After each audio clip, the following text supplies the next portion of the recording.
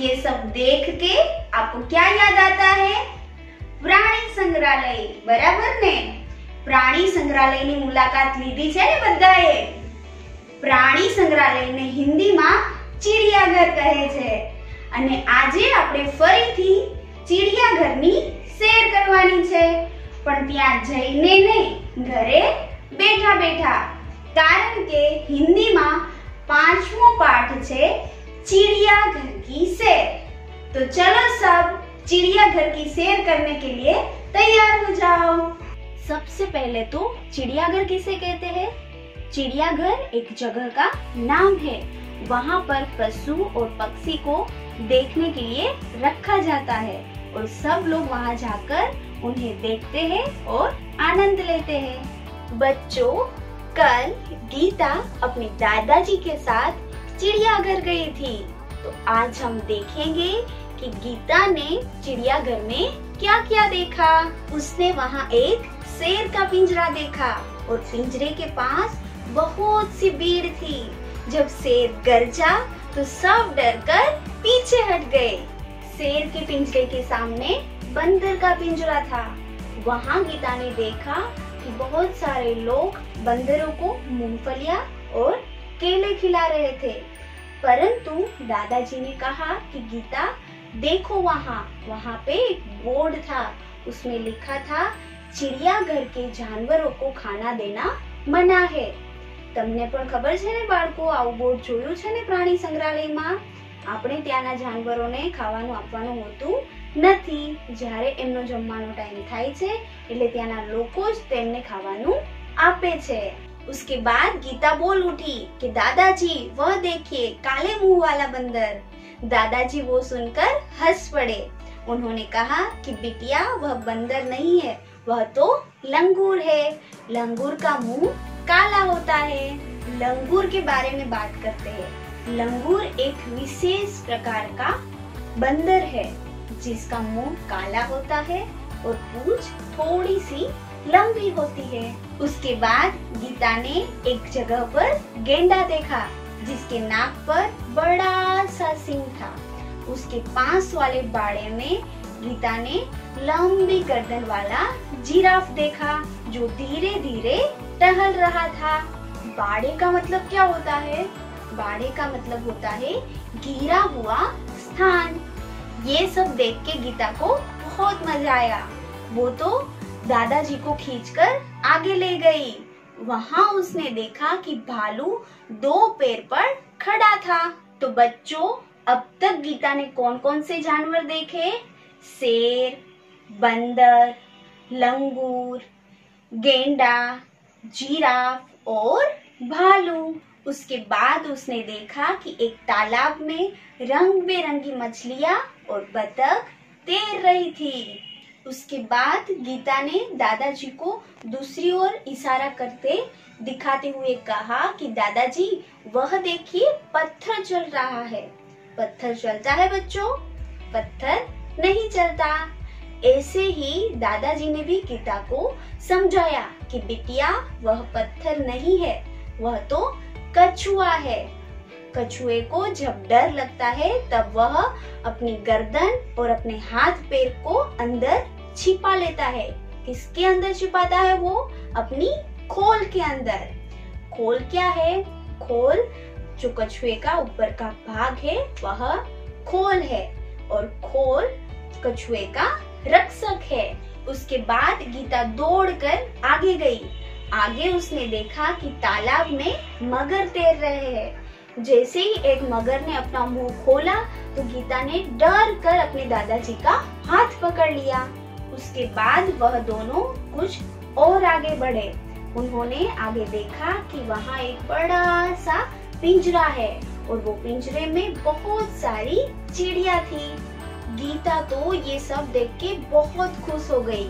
उसने कहा कि दादाजी, वह देखिए वहाँ हरियल तोता है। हरियल का मतलब क्या होता है बच्चों?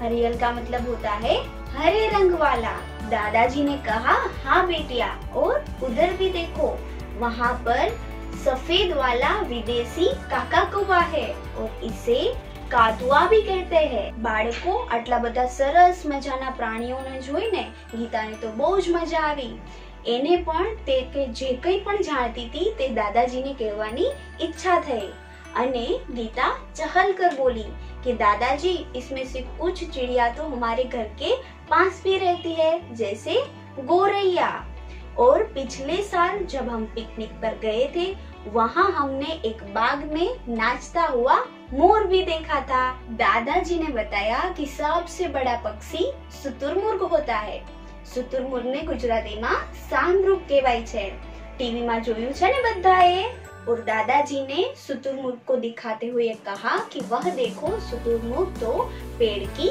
छाव में खड़ा है और चिड़ियाघर में हाथी और ऊँट की सवारी भी हम कर सकते हैं।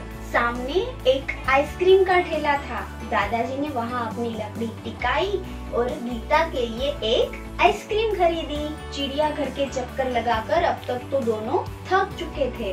वह चिड़ियाघर के दरवाजे से बाहर निकले बस पकड़ी और अपने घर आ गए। तो बच्चों, इस पाठ में कौन कौन से जानवरों की बात की गई है? एक बार हम याद कर लेते हैं। सबसे पहले शेर, उसके बाद बंदर, लंगूर, गेंडा, जिराफ, भालू, मछली, बतख, कछुआ, मगर चिड़िया, तोता, कातुआ, मोर शुतुरमुर्ग हाथी और ऊँट। तो चलो बच्चों, इस पाठ को हम एक बार पढ़ लेते हैं। कल गीता अपने दादाजी के साथ चिड़ियाघर गई थी। उसने देखा कि शेर के पिंजरे के पास बहुत भीड़ थी। शेर गरजा तो सब डरकर पीछे हट गए। सामने लोग बंदर को मूंगफली और केला खिला रहे थे। दादाजी ने कहा, देखो, वह लिखा है, चिड़ियाघर के जानवरों को खाना देना मना है। गीता बोल उठी, दादाजी, वह देखिए काले मुँह का बंदर।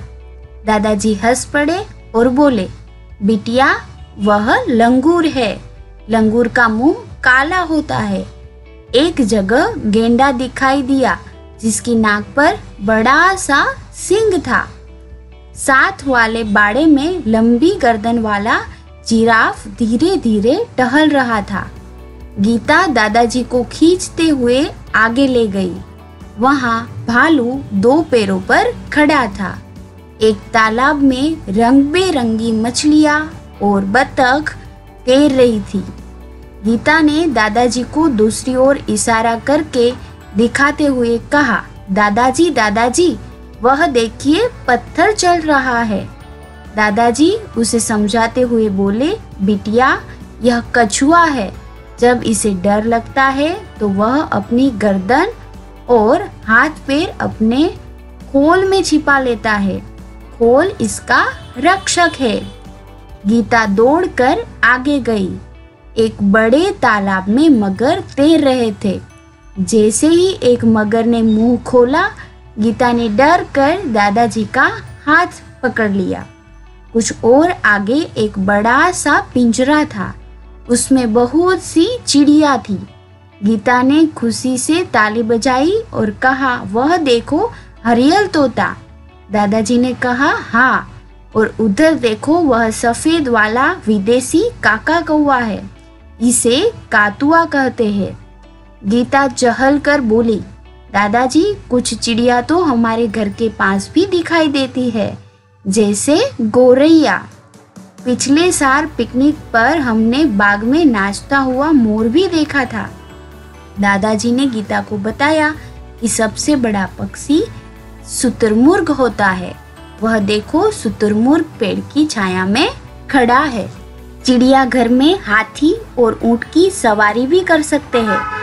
सामने आइसक्रीम का एक ठेला था दादाजी ने अपनी लकड़ी टिकाई और गीता के लिए आइसक्रीम खरीदी अब तक दोनों थक चुके थे वे चिड़ियाघर के दरवाजे से बाहर आए बस पकड़ी और अपने घर आ गए તો બાળકો આ પાઠનું વાંચન કરજો અને હોમવર્ક કરજો આવતા વિડીયોમાં આપણે આ પાઠના થોડા સવાલ જવાબ જોઈશું ત્યાં સુધી આવજો